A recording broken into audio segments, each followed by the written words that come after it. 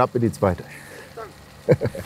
Was soll ich jetzt sagen? Ich habe keine Ahnung. Warte, warte, warte mal, Alter.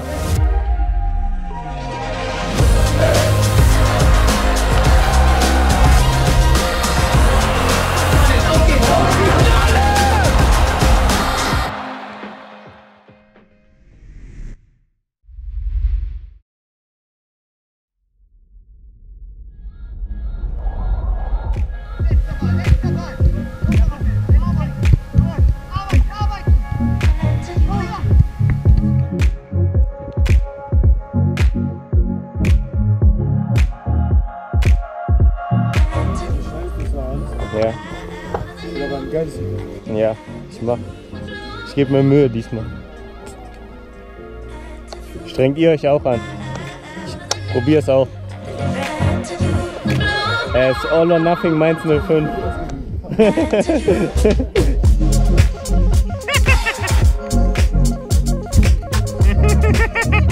Wenn wir die Jungs da eine Woche nur für uns haben, sage ich mal, und sie auch nur für sich sind, ähm, dann entsteht da was. Dann entsteht da was Besonderes. Und das ist, glaube ich, letzten Sommer auch passiert, da in, in Obsteig in Österreich, wo wir immer ins Trainingslager fahren. Hm, Maschine ist gut, krass.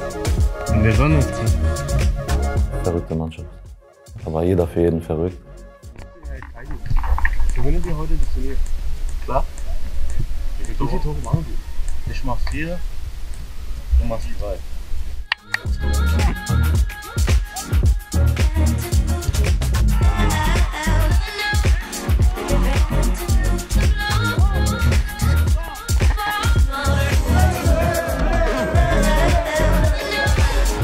Schon direkt gemerkt, dass alles funktioniert hat. Wir kannten uns nicht so lange, aber wir haben uns direkt so wie Freunde gesehen.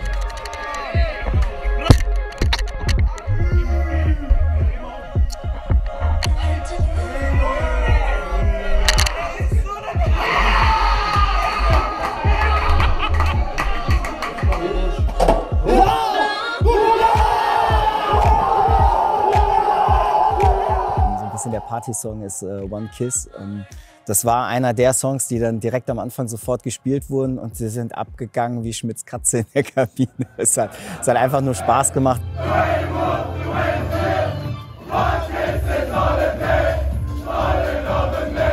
Es war einfach spontan. Dann haben sie wieder so rumgesprungen und der eine macht dann die, die Physioliege, macht er dann kaputt, springt drauf und wir feiern und seitdem haben wir das Lied immer gehört gehabt und es war bombastisch.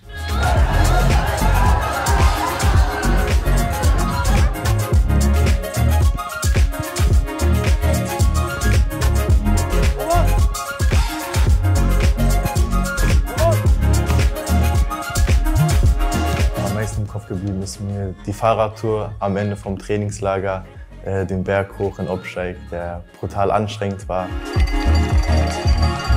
Drei, eins, go! Das ist so ein Stück, was noch so ein bisschen gerade geht, aber gefühlt dann 200 Meter weiter geht es dann richtig steil hoch und du schiebst eigentlich nur. Also du schiebst gefühlt 90 Minuten dein Fahrrad hoch.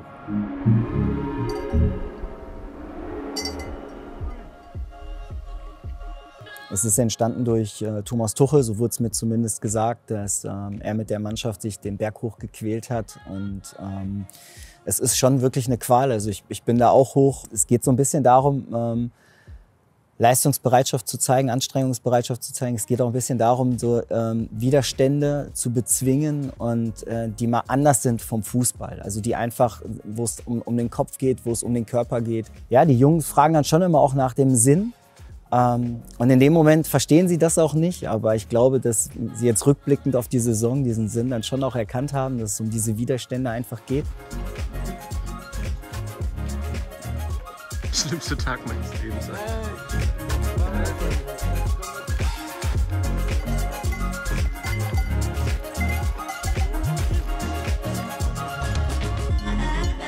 Ich glaube, der war am Ende des Tages auch am wichtigsten für die Mannschaft, um einfach die Grenzen auszutesten, wo, wo die sind. Chris, es ist vollbracht.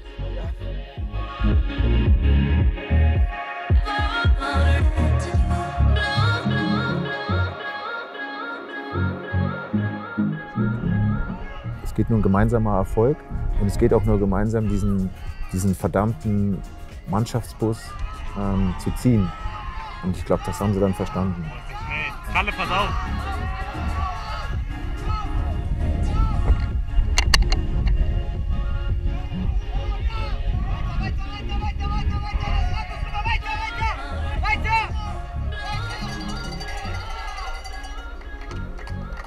Wir sind da mit einem sehr positiven und sehr geschlossenen Gefühl äh, weggefahren und hatten gemerkt, wir haben es geschafft, äh, in diesem Trainingslager eine Mannschaft zu formen. Und ich glaube, das ist das A und O dieser Saison.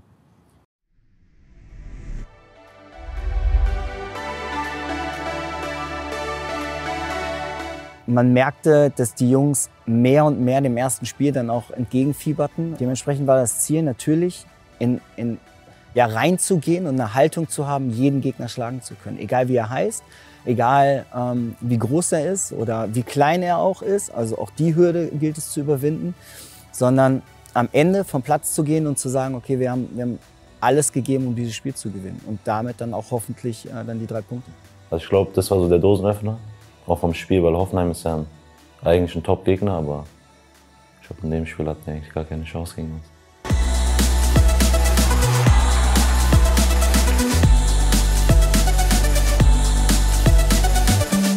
Welcher Dominanz wir einen ebenbürtigen Gegner äh, in dem Spiel ähm, ja, besiegt haben. Ähm, das, das war dann schon auch etwas überraschend für mich, das muss ich dann auch sagen. Es war absolut verdient. Also man, die Jungs waren komplett im Flow. So, man ist wie in so einem Tunnel, es gelingt einfach alles und das Spiel läuft irgendwie in Zeitlupe ab. Ja, und, und, und man, man, hat die richtigen Entscheidungen ständig getroffen, sei es im Passspiel, sei es ähm, auch im Defensivverhalten, sei es, sei es auch im Abschluss, in der Abschlussentscheidungsfindung. Von daher war es ein, ein gelungener Start, den die Jungs sich erarbeitet haben. Ähm, und ja, damit der Beginn ähm, von, von, von vielen weiteren Siegen.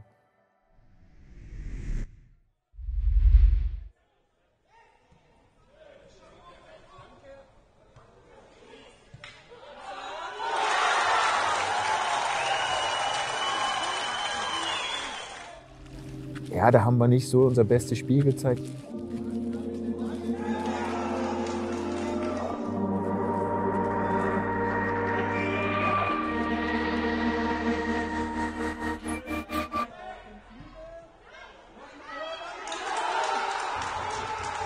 Ich glaube, da war ich lange verletzt. Dann war ich da erstmal auf der Bank. Bin dann irgendwann eingewechselt worden.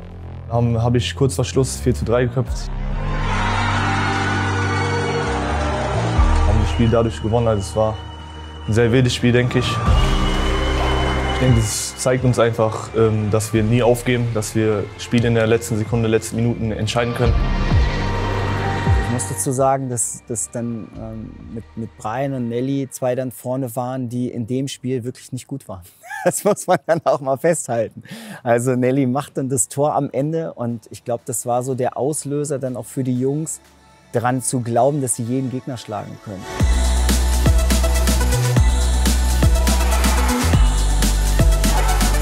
Tore geschossen, Tore geschossen und dann lief es von allein.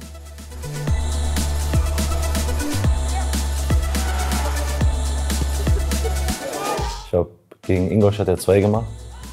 Ein paar Tage davor bei der Nazio nur Freischüsse trainiert, von derselben Position. Und wenn ich frei hatte, sagen wir mal, wir haben dienstags frei gehabt, war ich auf dem Sportplatz bei mir zu Hause, nur Freischüsse geschossen. Ich glaube, das lag einfach nur am Team. Also ohne die hätte ich es ja gar nicht geschafft. Ich hätte ja auch zum Beispiel Torschützenkönig werden können. Das Team wollte, dass ich sogar werde, aber habe ich lieber nochmal rüber gespielt. Ich sagen, das hat einfach die Saison beschrieben, dass wir ein geiles Team waren. Und ich glaube, jeder für jeden sowas machen würde. Ja, danach kam auf jeden Fall noch ähm, die Last-Minute-Siege gegen Eintracht Frankfurt, was wir komplett gedreht haben. Ähm, wir hatten dann im Pokal irgendwann wieder Hoffenheim, was wir dann auch in der letzten Minute entschieden haben. All diese Spiele in der letzten Minute zu entscheiden, es hat sich irgendwo so ein bisschen verselbstständigt.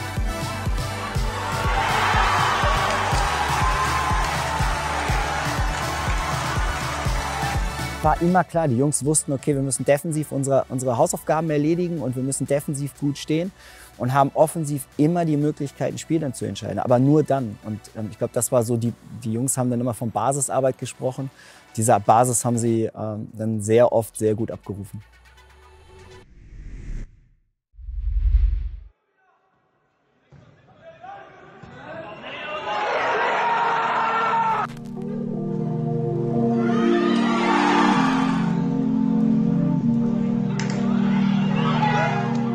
Man beachten muss, ist, dass ähm, wir bis zur Winterpause kein Spiel verloren haben. Dann gehen die Jungs in eine Pause und sind so drei, vier Wochen mit ihren Gedanken alleine und ähm, sehen die Tabelle und schauen sich bestimmt auch öfters die Tabelle an und sitzen mit ihrer Familie, mit ihren Freunden zusammen, unterhalten sich mit, mit Beratern, mit sonst irgendwem, kriegen Schulterklopfern. Du musst ja dann auch sehen, ähm, wir hatten dann äh, mit Tim Müller eine Verletzung. Wir hatten ähm, Nelly abgegeben zu den Profis. Wir haben Brian abgegeben zu den Profis. Wir haben dann mit, mit Pavi ähm, einen Verletzten, Langzeitverletzten gehabt, mit Domi Pestic, der ein Seuchenjahr hat mit zwei, mit zwei Verletzungen. Ähm, und das macht natürlich auch was mit der Mannschaft. Die Jungs haben geglaubt, dass es einfach so weitergeht. Ähm, das hat es aber nicht. Und äh, dann geht es darum, einfach neue Prozesse wieder, sich neu zu erfinden und ähm, nochmal einen neuen Spirit ähm, hervorzuheben. Und das hat sehr lang gedauert und ähm, es war dann rechtzeitig zur Endrunde dann einfach wieder da.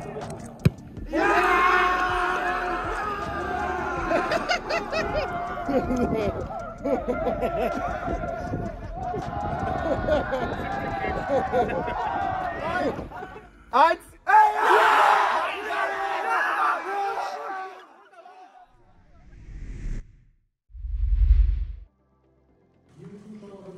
das, wir haben ja das 45 Minuten noch mal ein bisschen spannend gemacht. ich glaube, die hatten bis dahin kein Spiel gewonnen oder, oder nur ein Unentschieden mal geholt gehabt. Ähm, da, da fahren wir hin und hauen die weg. So, und dann war es in der Halbzeit 0-0 und es war ein offenes Spiel.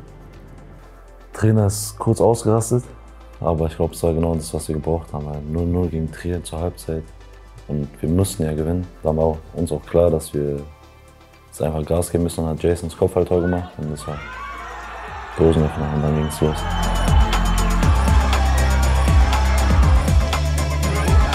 War schon ein geiles Gefühl, wo wir dann wussten, wir werden jetzt Meister. Das ist schon geil. Das war erstmal so eine, dass die Last runtergefallen ist. Weil wir wussten, danach kann noch mehr kommen. Die deutsche Meisterschaft, also die Endrunde halt.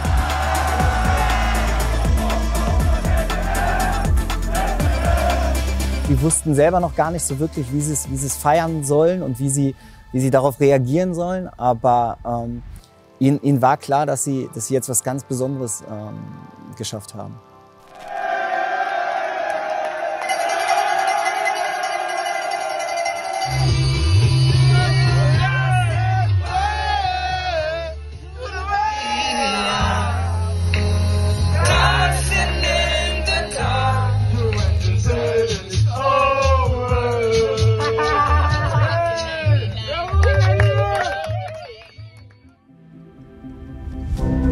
Das war schon ein großer Erfolg. Natürlich hatten wir dieses Jahr nur eine einfache Runde. Das kann man natürlich äh, so als auch so werten. Ich glaube, wichtig war es dann von Beginn an da zu sein, hellwach zu sein. Ähm, denn man kann eigentlich in Rückspielen in dem Sinne nichts mehr gut machen, sozusagen in einer Rückrunde. Und da hat sich das Team schon außergewöhnlich stark gezeigt. Auch da hat sich wieder schon diese Mentalität, diese Willensstärke gezeigt, auch da diese Widerstände zu überwinden. Und ähm, deswegen war das schon ein sehr, sehr großer Erfolg für uns. In der Vorrunde war, das, was diese Truppe geleistet hat, überragend. Also mir, mir war eigentlich klar, wenn diese Mannschaft es schafft, wieder an diese, diese Form der Vorrunde anzuknüpfen, trotz der Verletzungen Kaigin, Kruder und ähm, der Doppelbelastung durch Schule und was auch immer, dann werden wir ähm, um den Titel spielen. Das war mir äh, vollkommen klar und werden vielleicht auch den Titel holen. Man freut sich riesig und denkt sofort drüber nach, haben wir auch eine Chance, deutscher Meister zu werden. Äh, also das hat man eigentlich verhältnismäßig schnell abgehakt. Aber wären wir in Anführungszeichen jetzt nur Staffelmeister geworden und wären zum Beispiel gegen den 1. FC Köln ausgeschieden, dann wäre es immer noch eine prima Saison gewesen.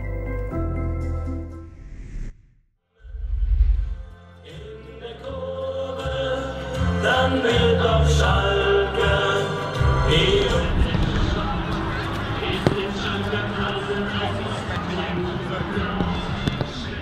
Königsblauen erwartet, dass sie uns früh stören, ähm, dass sie gleichzeitig aber versuchen, defensiv gut und kompakt zu stehen. Ich ähm, kenne meinen Kollegen Norbert Elgert jetzt auch schon sehr lange und ich schätze ihn komplett und ähm, er hat schon über Jahre immer wieder hinweg bewiesen, dass er gute Arbeit leistet.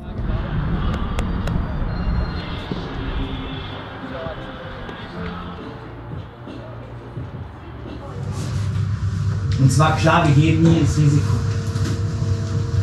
Ähm, und zwar klar, wir mussten an unsere Leistungsgrenzen gehen. Ich habe gestern davon gesprochen, ihr seid extrem selbstlos. Das hat man in dem Spiel gesehen. Und ihr hattet in dem Spiel auch Nehmerqualitäten. Das wird man auch in dem Spiel sehen. Daran möchte ich euch gerne erinnern.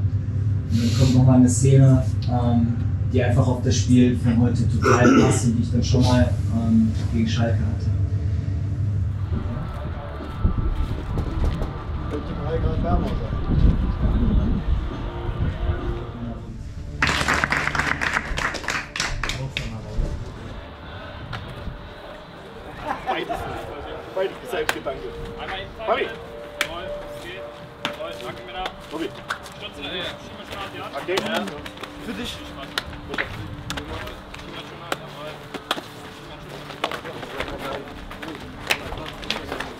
Wir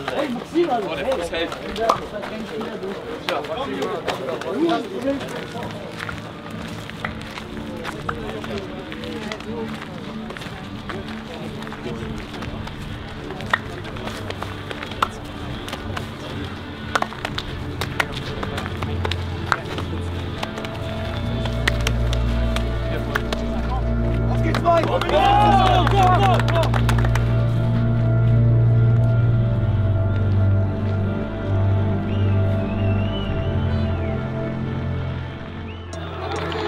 rein. Mainz stößt an.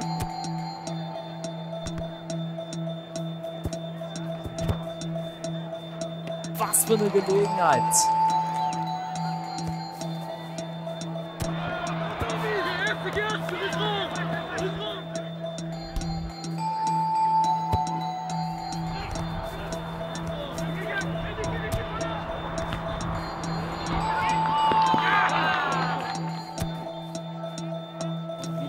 Kopfball, aber kein Problem für Fares Yusufu. Ich meine, das ist top, weil ihr habt es hingekriegt, dass die nach 25 Minuten umstellen mussten. Das heißt, der erste Plan A von denen hat nicht funktioniert. Sie spielen jetzt schon Plan B. Aber wir müssen darauf vorbereitet sein, dass sie auch noch einen Plan C haben. Okay? Und da auch das, das meine ich mit Nehmerqualität. Einfach annehmen, einfach annehmen. Und wieder dagegen arbeiten. Klar, klar bleiben, einfach weiterspielen, einfach weiterspielen. Ihr habt gewonnen. Go.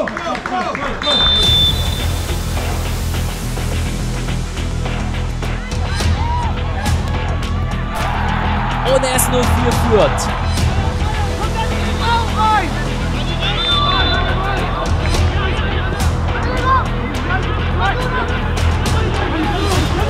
Da habe ich auf Nelly geflankt. Der hat das Kopfballtor gemacht.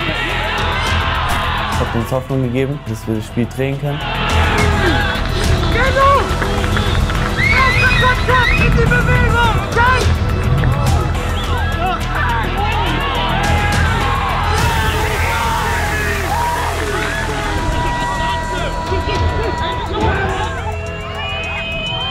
Und es gibt Elfmeter. Anfa macht ihn.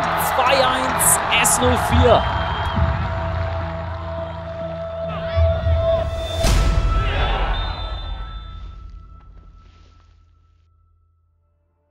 Mit Chris Keber, unserem Physio, bin ich ja direkt hingelaufen und ja, der lag, der war halt benommen. Lag dann da und konnte gar nicht mehr richtig antworten. Das war schon ein bisschen komisches Gefühl. Also alles weg, nix. Die Jungs haben mir danach erzählt, dass ich irgendwas da geredet habe. Die haben gesagt, bleib bei uns, bleib bei uns. Und ich lag da so, ich sage, ja, ja, ich bin bei euch. Aber daran kann ich mich gar nicht mehr erinnern. Ich kann mich nur erinnern, wo ich dann schon im Auto von Ambulanz saß. Und ja, aber dann ging es mir auch gut.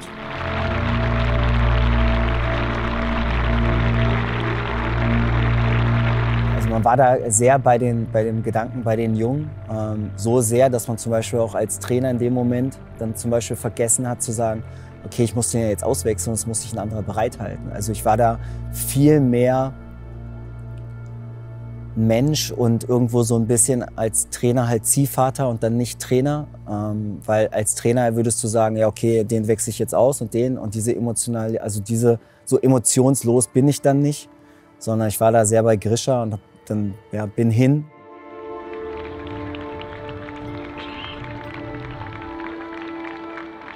Als unser Physio ähm, dann nachher wieder Entwarnung gegeben hat, das war schon eine Erleichterung. Schon im Bus haben wir uns alle Sorgen gemacht. Wir sind dann direkt ins äh, Krankenhaus gefahren, haben ihn erstmal abgeholt. Und da war erstmal das Spiel egal. Und jetzt ist Feierabend hier. Der FC Schalke 04 zieht ins Finale ein. Ja, wir hatten ein K.O.-Spiel, was wir verloren haben. Und die Jungs waren down, richtig down, ja.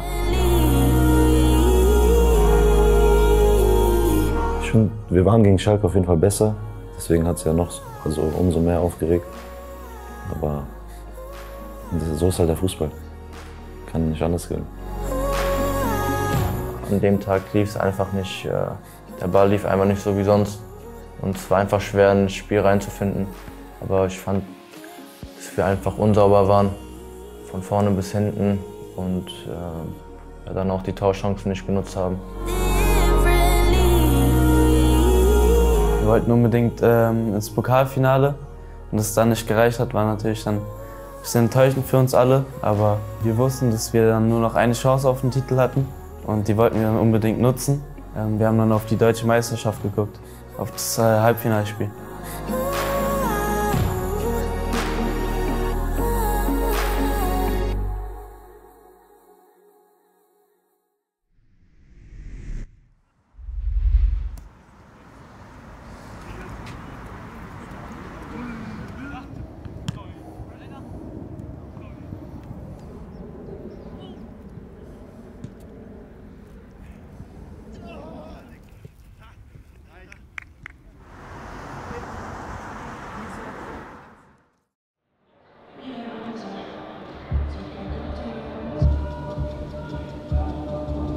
Wir haben uns auf Köln eingestellt, so dass es schon, schon eine harte Nuss wird, weil die halt körperlich auch sehr stark waren, dann das Spielerische noch dazu kam. Und wir wussten, dass sie uns alles abverlangen werden und dass es ein hartes Spiel wird, ähm, aber wir auch unsere Chancen dann haben werden.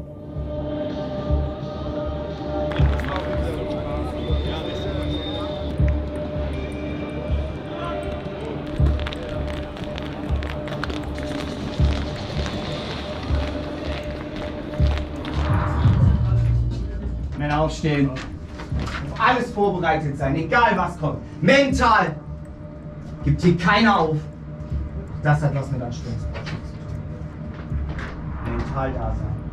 Erledigt den ersten Schritt. Auf geht's. Dann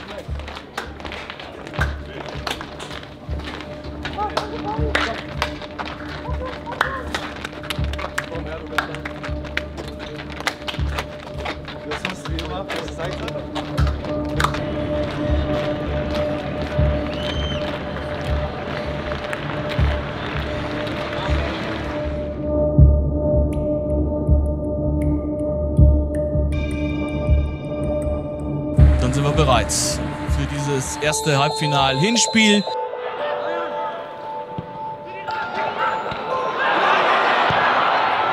Im Standard, glaube ich, ist der Ball wieder irgendwie zu mir gekommen, dann das Tor gemacht. Im Heim, den ganzen Fans, die da auch da waren. War schon cool.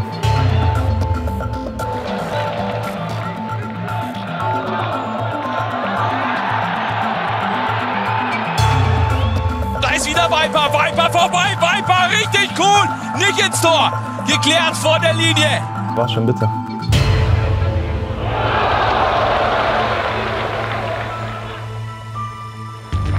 In diesen Jahrgängen ist das definitiv der Fall. Das sind echte, wirkliche Teams, die zusammen kämpfen. dann gehen wir in die Halbzeitpause. Da kommen noch drei. Meine, wir haben bisher ist noch nichts gewonnen, steht 1-0. Aber mit der Klarheit, mit der Gewissheit mental reingehen. Ball erobern, Zentrum suchen, am Elfmeterpunkt, Tore machen. Auf geht's, Männer. Komm. Und dann seid direkt da, wenn da ist. Ja? Direkt da sein, direkt da sein. Ich muss ja immer auf den 6 haben. Oder zum Beispiel, äh, der Ball ist auf der linken Seite und dann verlagern wir auf die andere Seite. Ich muss es oder nicht auf 6 Ja, geh du mal vor und dann geh du mal auf 6. Männer, ey, weiter so, weiter so, Männer, komm. Auch nicht aufhören. Gegen den Ball weiter, nur gegen den Ball arbeiten. Bis zur 90.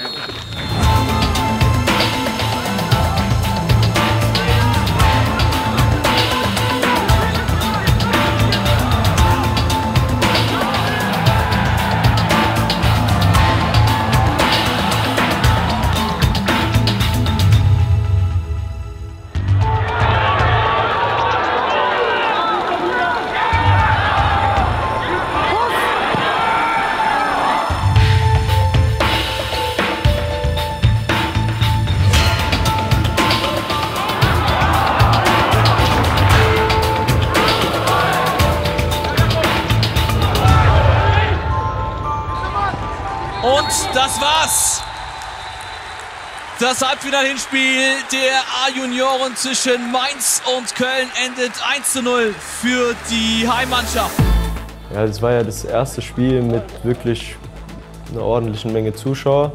Heimspiel war, war ein geiles Gefühl, da auf dem Platz zu stehen. Wir haben in der ersten Halbzeit wirklich richtig Gas gegeben. Wir hätten dann auch schon mit ein paar Toren in die Halbzeit gehen müssen, das schon vorher entscheiden. Aber wir waren wirklich sehr präsent, offensiv alles zugelaufen und hätten auf jeden Fall mit 3-4-0 in die Pause gehen müssen.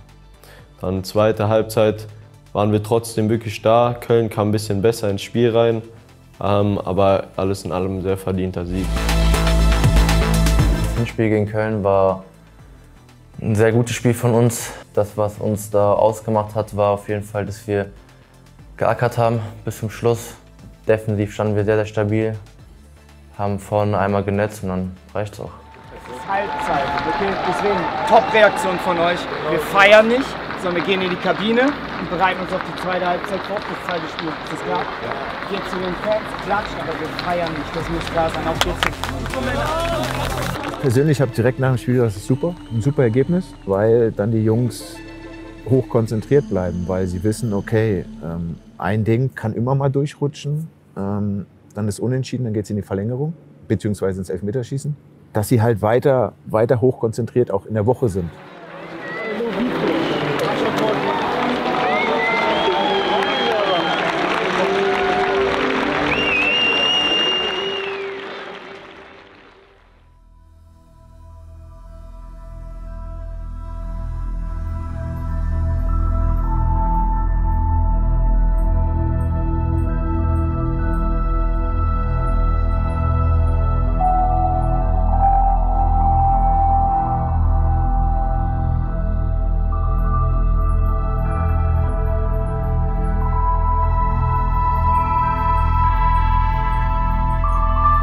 Heimteam hat Anstoß rein in die Partie.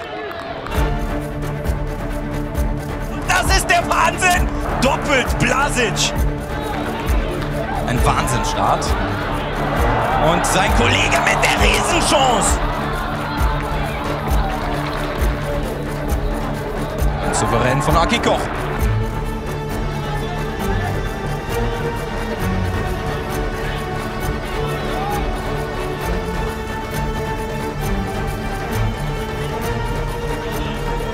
Vielleicht legen sie jetzt nochmal nach. Sehr stark von Baka Tukanda.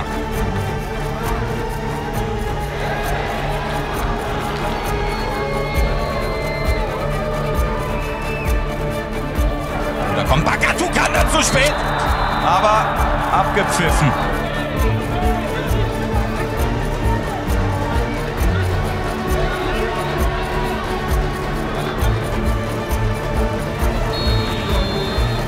Ich habe euch im Hinspiel gesagt, es geht um Anstrengungsbereitschaft. Anstrengungsbereitschaft ist auch ein Talent. Auf geht's! Auf geht's.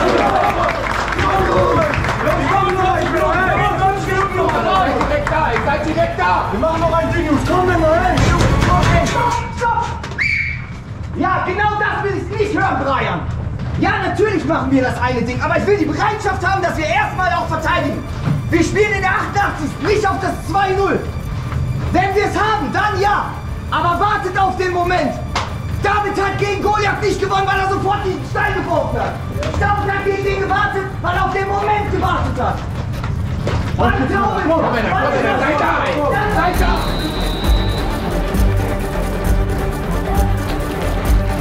Kein Problem für Blasic.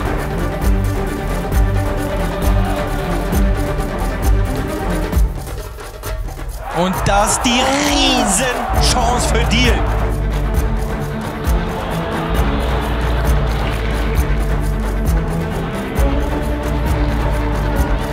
Bruder, wunderbar. Wunderbar, wie der sich da behauptet. Also im zweiten Durchgang viel schönen Fußball haben wir nicht gesehen. Jetzt ist die Frage, kommen die Kölner noch einmal in den Strafraum?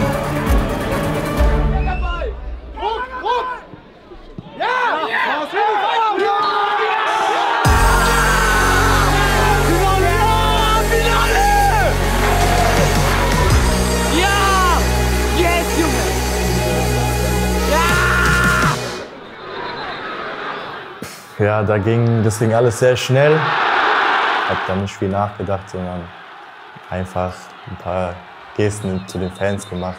Für mich natürlich auch eine neue Situation gewesen. Auswärts, viele Fans, die ganze Zeit ausgebuht zu werden. Am Ende natürlich eine unkluge Aktion von mir. Äh, muss ich mir da selber an die eigene Nase fassen, natürlich. Man lernt draus und kommt nicht mehr vor in der Zukunft.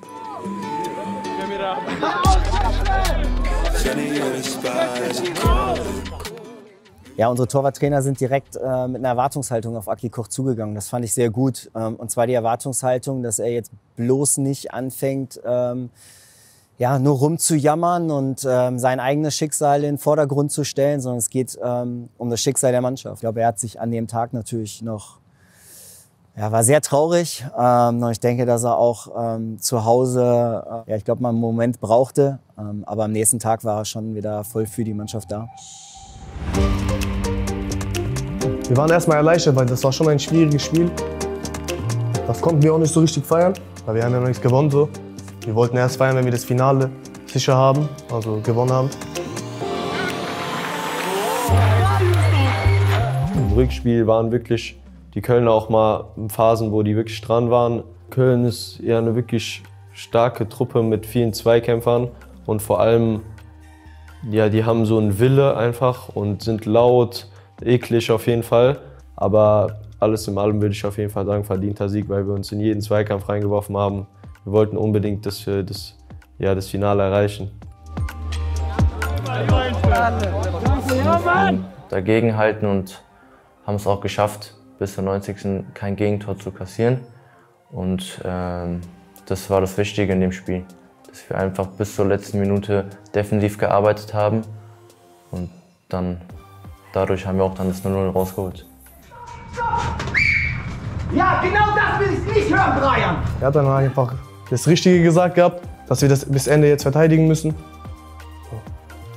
Wir vertrauen unser Trainer schon. Der sagt schon immer fast das Richtige. Nicht immer, aber schon fast immer. Klar ist manchmal ein bisschen, der Trainer hat andere Vorstellungen als die Spieler, aber wir sind als Mannschaft wirklich ein, ein Team. Wir pushen uns immer, egal ob mal was nicht läuft oder, oder nicht. Ich denke, wir haben am Ende alles wegverteidigt, klar kein Tor gemacht, aber wir sind ins Finale eingezogen, dann Deutscher Meister geworden, das war alles, was zählt. Das war technisch. Wir hatten eine Vater. Wir hatten eine Katastrophe. Taktisch war es gut, taktisch war es gut. Wir haben den Fight angenommen. Ähm, wir haben uns gequält. Aber Jungs, das ist wie auf diesem scheiß fucking Absteigberg. Wie auf diesem scheiß fucking Absteigberg. Und sich da hochquälen und in diesen 90 Minuten das Ding packen. Und ihr habt es in zweimal 90 Minuten gepackt. Finale zu Hause. Finale! Finale! Finale! Finale! Finale!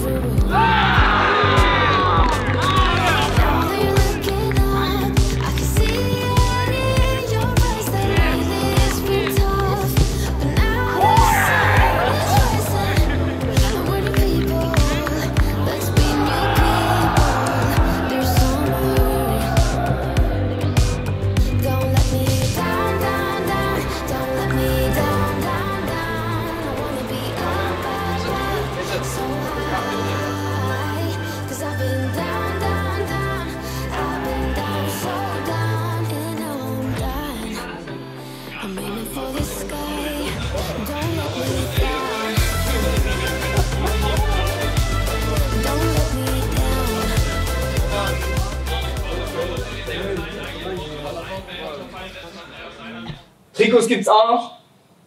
Die äh, verteilen wir dann aber morgen. Alles entspannt. Warum? Weil erstmal nur ein Trikot wichtig ist. Das ist das hier. Das von meinem 05 Jungs. Und das gilt es morgen zu repräsentieren. Nicht das DFB-Trikot oder sonst irgendetwas. Alles klar? So, und in diesem Sinne.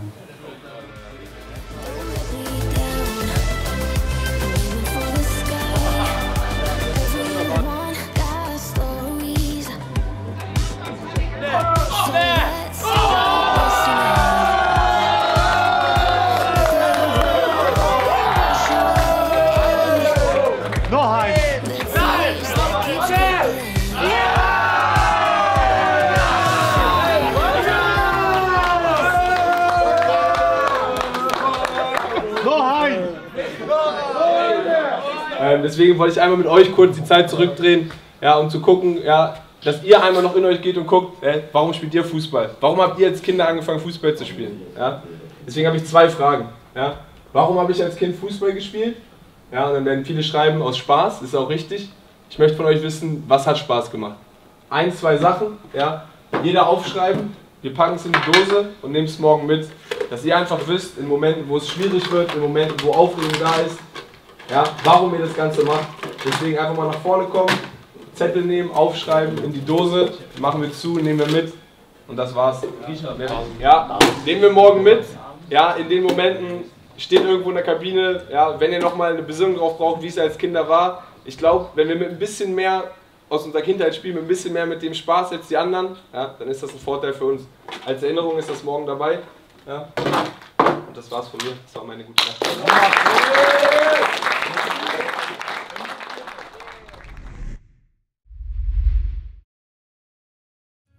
Ja, es ist eine lange Geschichte. Ich bin in Dortmund aufgewachsen. Ich bin, ähm, ja, ich, ich bin dort fußballerisch groß geworden. Ich habe äh, selber dann ähm, ab der U15 beim BVB gespielt, bis zu 19 hoch. Ich habe dort um, um Titel äh, gespielt, Titel gewonnen als, als, als Spieler. Ich bin mit 22 dann sehr jung Co-Trainer geworden einer U17-Mannschaft. Ähm, auch dort Titel geholt beziehungsweise um Titel gespielt, oft im Finale gestanden. Ähm, dann begann dort auch meine Trainerkarriere. Also ich bin dann irgendwann äh, Cheftrainer geworden einer U17-Mannschaft, ähm, musste Lehrjahre auch zahlen und Erfahrungen erstmal sammeln, habe dann U14, U15 gemacht und dementsprechend ist für mich natürlich BVB ja eine Lebensgeschichte einfach und ähm, mein, wenn ich so an meine, meine ganze Jugend zurückdenke oder an mein Leben zurückdenke, dann, ähm, ich bin jetzt 43, ähm, dann war ich von meinem 14. Lebensjahr bis äh, zu meinem 39. Lebensjahr, ähm, war ich Teil von der BVB-Familie. Von daher war es war es für mich was ganz Besonderes, weil ich auf, auf, meine eigene, auf meine eigene Geschichte sozusagen getroffen bin.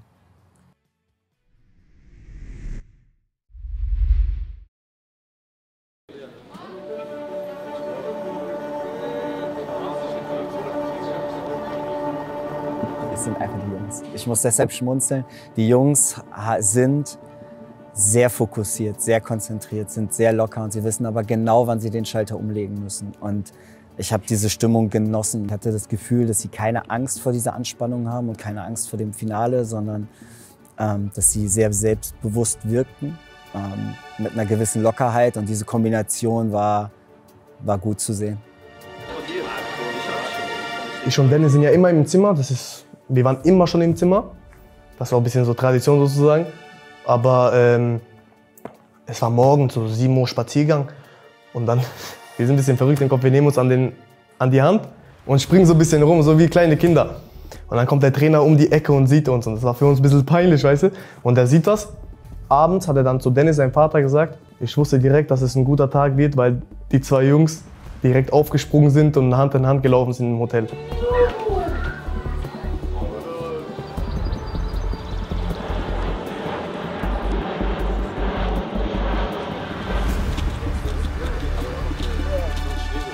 Das machen wir immer.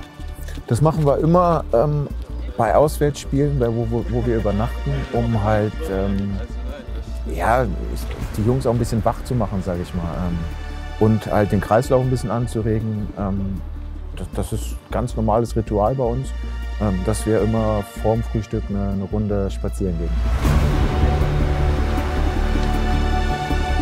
So, auf geht's. Du kennst den Weg?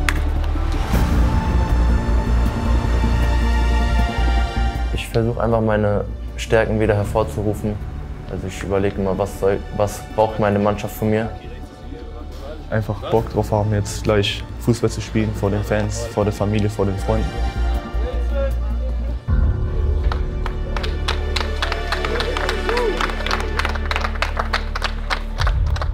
dass wir alle bereit sind. Wir hätten nicht gedacht, dass so viele Fans da sind. Natürlich haben wir gewusst, dass Fans kommen, aber dass die so eine Unterstützung geben, das sieht man eigentlich nur bei den Profis. So, für ein 19 Spiel ist das schon geil.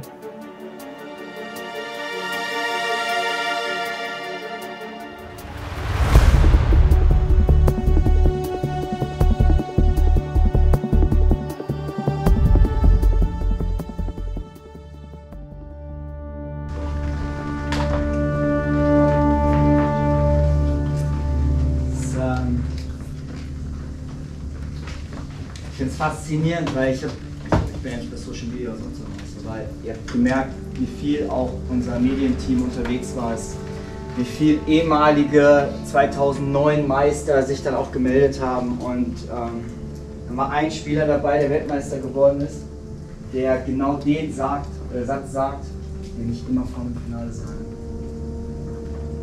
Männer, ein Finale spielt man nicht, ein Finale gewinnt man. Aber was bedeutet das? Geht dann nicht raus und denkt einfach, okay, wir spielen jetzt. Es geht nicht nur um Spielen, sondern es geht um Gewinnen. Fußball ist eigentlich ganz einfach. Steht zehn Mann auf dem Platz, ein Torhüter, zehnmal ein 1 gegen 1 und je mehr 1 gegen 1 Duelle ich gewinne, je intensiver ich gehe in meine Zweikämpfe, in meine Laufduelle, desto höher ist die Wahrscheinlichkeit, dass ich den Sieg hole. Unsere Art und Weise hat uns erfolgreich gemacht. Diese Art und Weise bringt die auf den Platz. Habt daran Spaß. Nimmt denen den Spaß, klaut denen die Kugel. Ein Finale spielt man nicht, ein Finale gewinnt man. Auf geht's.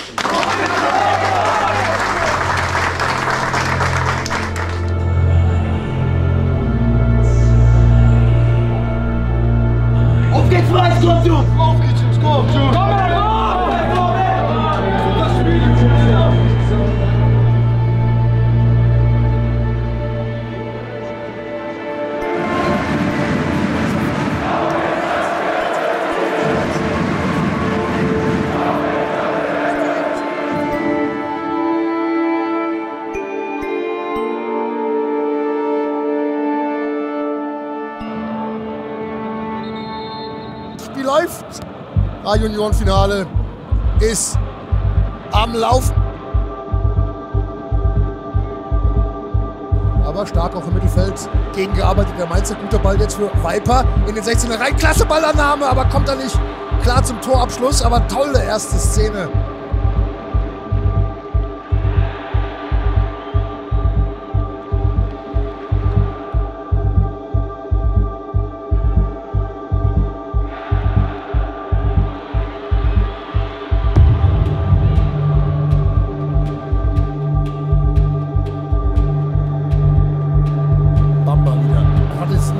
Schussbahn ermöglicht. Pia, Babatz, Parade.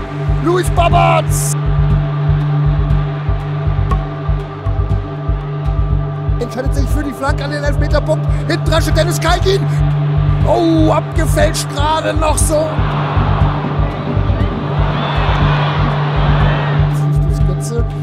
Zieht die Flanke zurück mit rechts, bringt sie dann mit links und das ist Viper! Oh, knapp übers Tor. Und den drückt er nicht richtig in das Maschennetz des Tores.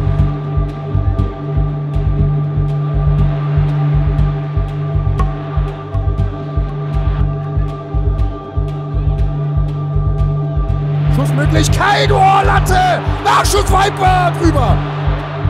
Jetzt in Erwartung des Eckballs für den BVB. Babatz bei der mit dran, Nachschussmöglichkeit für Bamba. Der Ball liegt irgendwo auf der 5-Meter-Linie und dann fällt Luis Babatz drauf.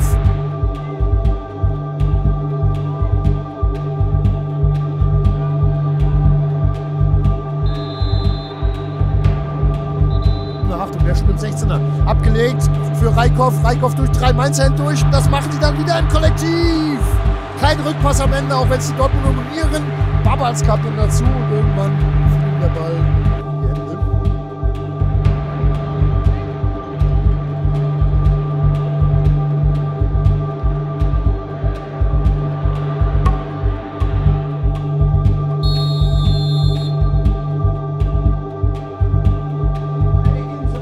chippt den dann hier rein. Die haben sogar auch mal flach da reingespielt. Für die IF. Und da, Jungs, da haben wir am Anfang ganz viele Bälle gewonnen.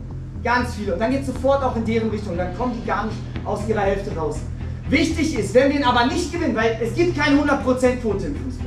Ihr könnt euch nicht darauf verlassen, dass wir hier das Ding immer gewinnen. Also hier, Tim, Justus, Jay, dann aber auch Ivan, seid wieder da. Seid wieder da. Das bedeutet, einer reicht manchmal. Da erobern wir den Ball. Die Fleißarbeit, die Anstrengungsbereitschaft, die brauchen wir.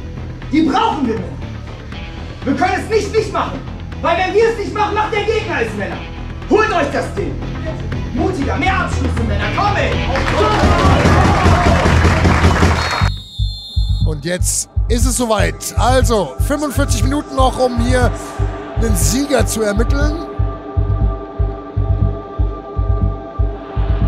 Durchgesetzt. Nelly Viper im 16er Viper. Immer noch Viper. Aus dem Nachschuss. Tor! Tor! Lovis Bierschenk! 1 zu 0!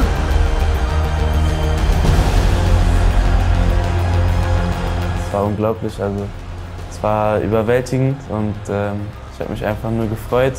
Und ich glaube, äh, das ganze Team hat sich gefreut und ähm, wir waren einfach nur unglaublich glücklich in dem Moment.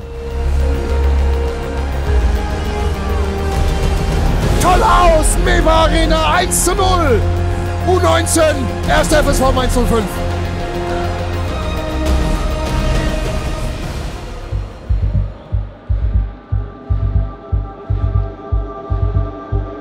Dennis Kaigin nochmal. Sucht das 1 zu 1. Rein in den 16er.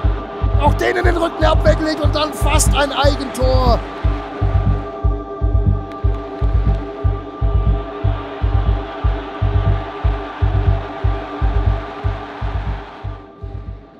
Lang und länger. Achtung, am zweiten Pfosten kommt ein Dortmunder. Das ist gefährlich und das ist ein Tor. Ach du grüne Neune. Mehr Gurke geht nicht.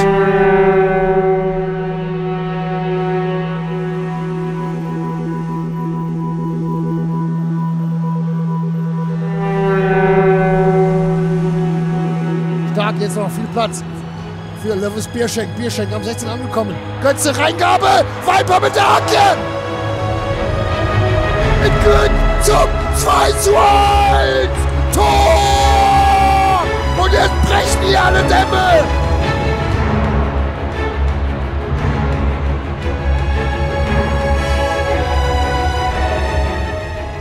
Ich glaub das nicht. Vom Anstoß weg ins Tor hinein zum 2 zu 2. Hast du das schon mal gesehen? Ja, war direkt eigentlich das Bremen-Spiel auch bei mir im Kopf, weil es auch so spät war. Jetzt nicht so spät wie in Bremen, aber auch spät und dann direkt nach dem Anschluss Gegentor, auch 2-2.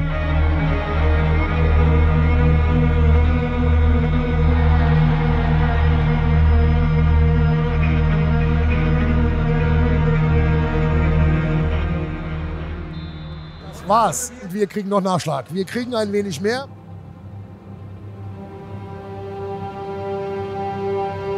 Boah, ich kann mich an die erste, an die erste Auszeit ähm, ganz gut erinnern, äh, wo der Trainer uns einmal zur Seite genommen hat und äh, hat uns eigentlich so beruhigt und hat gesagt, ähm, ja Jungs, äh, macht einfach so weiter, wir haben die schon.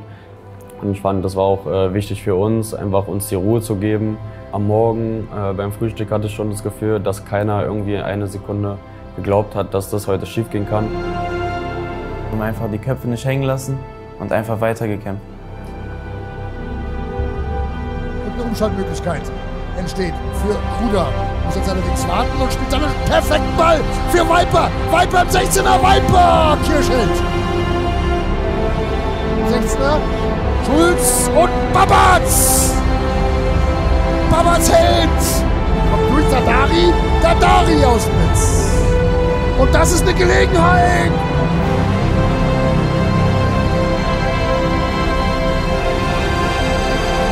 Der anderen Seite des 16 ist wieder Götze unterwegs. Vorbei am ersten mit links kommt die Flanke, die ist nicht schlecht. Kommt mal Möglichkeit.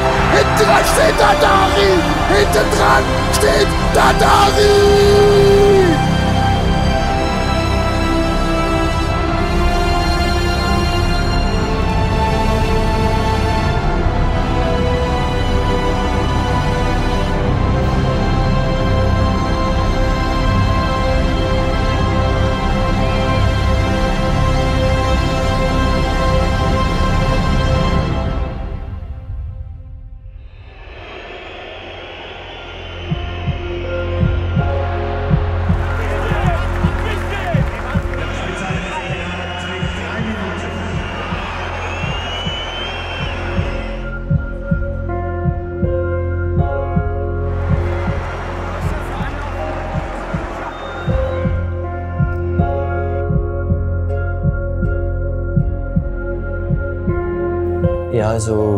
Bevor ich eingewechselt wurde, äh, Trainer hat mich gerufen und er meinte, habe einmal Spaß, genieße diesen Moment, weil man erlebt sowas nicht jeden Tag.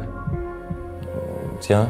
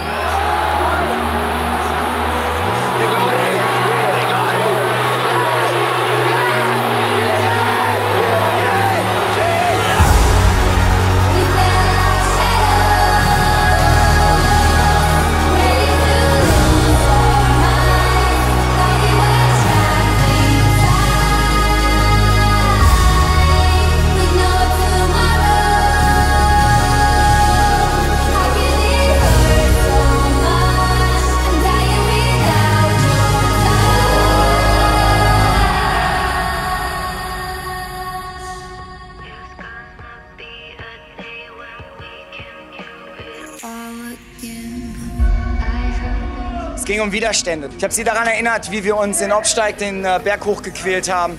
Das ist das ein Fußball aber ausmacht. Ähm, einfach im Matchplan zu bleiben, cool zu bleiben, mental, physisch die Widerstände zu bekämpfen. Und diese Widerstände haben die Jungs heute angenommen und haben es äh, immer wieder auf ihre Seite gebracht. Und ähm, das nicht nur in der ersten und in der 90. sondern auch in der 120.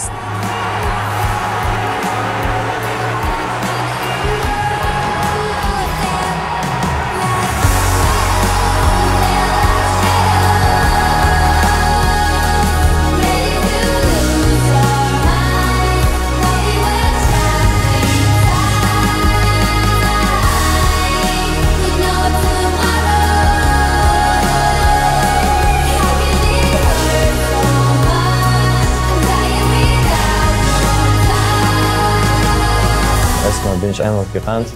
Ich wollte vom Verteidiger weglaufen. Dann habe ich hochgeguckt und auf einmal ich sehe, da steht nicht mal Torwart drin. Das wusste ich gar nicht davor. Aber dann denke ich mir so, nein, ist noch viel zu weit. Dann bin ich noch ein paar Meter weitergelaufen und habe geschossen.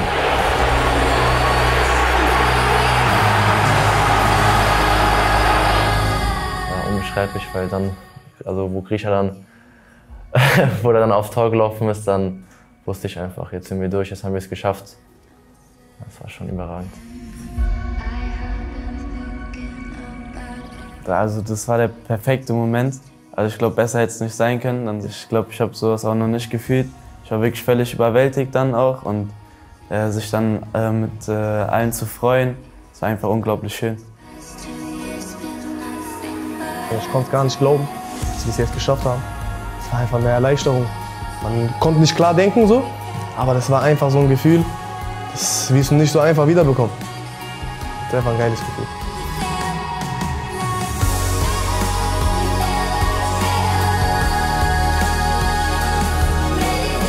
Wie du sagst, war diese Krönung, äh, zwölf Jahre jetzt. Perfekte, der perfekte Abschluss von der Jugend. dass wir hier seit der U8 viele, viele, ein bisschen später, aber auch sehr lange hier jeden Tag hingekommen sind, hart trainiert haben und dann, dass wir zusammen mit Spaß über die Jahre, mit harter Arbeit zusammen dieses wichtige oder das wichtigste Spiel in der Jugend zusammen gewonnen haben, ist natürlich schon sehr besonders. Das ist natürlich überragend. Also ich war mit Dennis Kaigin, Domi Pesic, bin ja seit der U11 hier. Man ist eigentlich, sind wie Brüder für mich. Und jetzt mit den Leuten, auch mit anderen, halt diesen Titel zu gewinnen, das ist halt wie ein Traum, so der in Erfüllung gegangen ist. Und dass man damit so seinen Jugendfußball abgeschlossen hat mit diesem Titel, den man erreicht hat, ist natürlich das Beste, was man sich erhofft hat.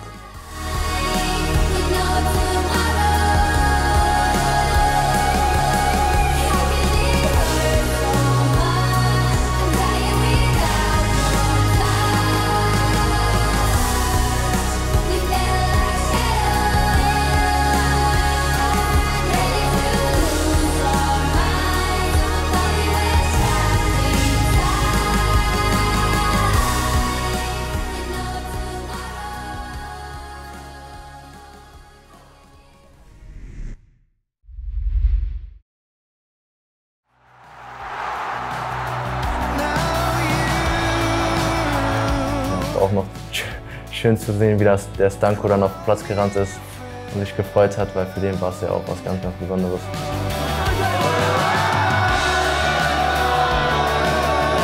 Stanko ist oldschool auf jeden Fall. Man merkt es, der ist immer für uns da, gibt uns Tipps und äh, bringt uns immer zum Lachen. Ja, ich bin Person, wir strahlen immer, äh, egal was passiert. Sollte mal werden, das ist große Sache für jede Trainer, für jede Person, Spieler auch, unser Funktionsteam und äh, ja, Nachwuchsleistungszentrum. Für mich persönlich, ich bin begeistert. Geht nicht besser, zweimal deutsche Meister werden. Das ist wirklich für mich perfekt. Ja, Stanko. Stanko hat, äh, glaube ich, äh, so viele Trainer erlebt und so viele Dinge in diesem Verein erlebt. Er könnte darüber, glaube ich, ein Buch schreiben. Thomas Tuchel, Stefan Sartori, Jürgen Kramny. Mich hat er das ein oder andere Mal genossen auf der Trainerbank. Also, aber zu jedem sagt er, du warst der beste Mann. Benny Hoffmann kommt bei uns. Er ist Edelsteintrainer für mich, weil er hat so viel organisiert. Funktionsteam stimmt, Trainer äh, und äh, Mannschaft komplett organisiert. Das ist nicht einfach. 365 Tage Arbeit mit Mannschaft, das ist harte Arbeit. Am Tag, wann war Finale, ich war ein bisschen unruhig. War, äh, Spiel war äh, bis Ende, bis letzte Minute äh, spannend. Das war Tempo drin, das war äh, Umschalten, das war alles, alles, was eine moderne Fußball hat. Ich war ein bisschen im Moment äh, sehr äh, unruhig, weil ich wollte die, die Meisterschaft, weil das für mich persönlich so, so, so wichtig. Zweimal.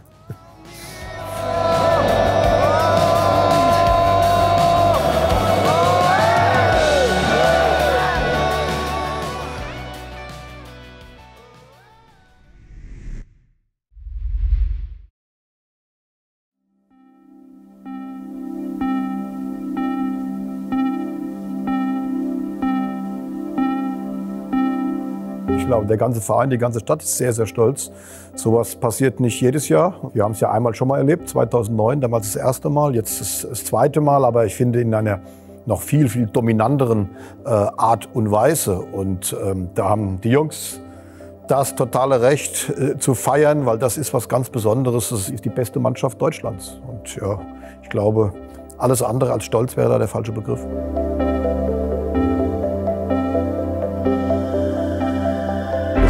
Sehr große Strahlkraft, weil äh, deutscher A-Jugendmeister, dieser Titel wird einmal vergeben. Das ist der höchste Titel, der im deutschen Juniorenfußball vergeben wird. Den natürlich dann auch noch in so einer Atmosphäre, vor so einer Kulisse, mit äh, so einer Präsenz dann auch im, im Fernsehen und in, in, in, der, in der überregionalen und regionalen Presse. Das hat Bedeutung, das äh, hat Wirkung. Für uns ist es natürlich eine Bestätigung und es dokumentiert nach außen. Ähm, Hier ist eines der besten Nachwuchsleistungszentren in Deutschland mit einer extrem, und das ist das Wichtigste, mit einer extrem hohen Durchlässigkeit. Ich, glaube, bei uns ist es natürlich die, die, die familiäre Atmosphäre, die wir versuchen, den Jungs immer zu bieten. Ähm, einfach ein, ein, ein Club auch zu sein mit Herz und Leidenschaft, mit Emotionen, aber auch für die Werte, für die wir stehen, immer mit den Jungs, äh, die Jungs dabei mitzunehmen und ihnen ihm das jeden Tag vorzuleben. Benny ist natürlich herausragend als Trainer, das, das, wissen wir. Aber jeder andere, ob das Chris Babatz oder Stanko, der auch schon Ewigkeiten jetzt im Verein ist, äh, oder Thomas Fischer als Betreuer und alle anderen drumherum, die geben jeden Tag ihr Maximum und äh, stellen ihre, ihre Persönlichkeit, persönlichen Ansprüche zurück, um eben dem Team viel zu geben. Und ich glaube, das spürt man dann auch im Umgang zwischen Staff und Mannschaft. Und ich glaube, das Entscheidende dabei ist, äh, ehrlich und authentisch zu bleiben und das den Jungs zu vermitteln, die, die Werte, für die wir stehen, eben auch bodenständig zu sein und ihnen immer das Gefühl zu geben, egal was ist, wir können über alles reden. Und ich glaube, das eröffnet immer die Möglichkeit, dass sich die Jungs dann auch in ihrer Persönlichkeit so entwickeln, wie sie das getan haben. Da waren viele Trainer dran beteiligt. Jeder hat den Jungs äh, irgendetwas mitgegeben auf ihrem Weg durch das Nachwuchsleistungszentrum. Und der Benny Hoffmann hat es sozusagen veredelt. Aber es gibt ja noch viele weitere Facetten. Also es gibt Pädagogen, ähm, Jonas Schuster, der die Jungs auch schon in der U8, wie ich gehört habe, trainiert, habe, äh, äh, trainiert hat. Da gibt es den Psychologen, es gibt den Athletiktrainer, Physiotherapeuten, die dann die Schwachstellen ähm, am Körper bearbeiten und auch so ein bisschen der Kummerkasten sind. Also jeder trägt seinen Teil dazu bei. Und das ist, glaube ich, der Schlüssel, das Zusammenwirken dieser Einzelnen. Jeder versteht sich nicht als, als Silo, sondern jeder versteht sich so, dass er seinen Teil zum Gesamterfolg beitragen muss in seiner Funktion. Und ich glaube, das Zusammenspiel ist das Entscheidende. Ist immer eine erfolgreiche Ausbildung, zumal wir zum einen versuchen, die Spieler zum besten Spieler zu machen, der er werden kann. Zum anderen eben auch auf die Persönlichkeit und vor allen Dingen auf die schulische Entwicklung achten, sodass er eben dort schon die schulische Ausbildung und den Abschluss in der Hand hat, womit er dann später sein Leben bestreiten kann oder eine Grundlage für sein späteres Leben hat.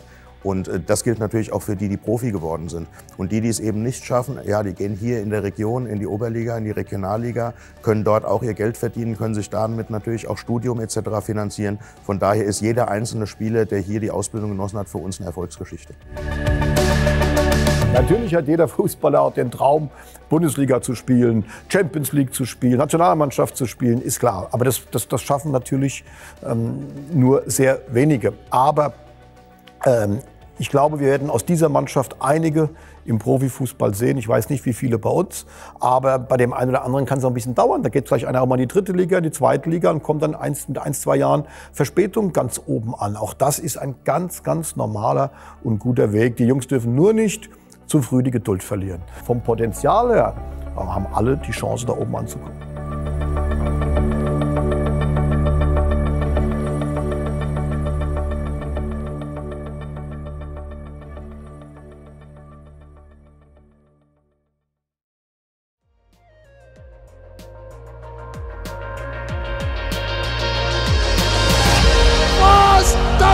War's! Meistertor! Am Ende sind wir deutscher Meister der Fußball-A-Junioren-Bundesliga im Jahre 2023. Für uns der zweite Titel nach 2009. Und in einer Art und Weise, wie es einem Endspiel würdig ist.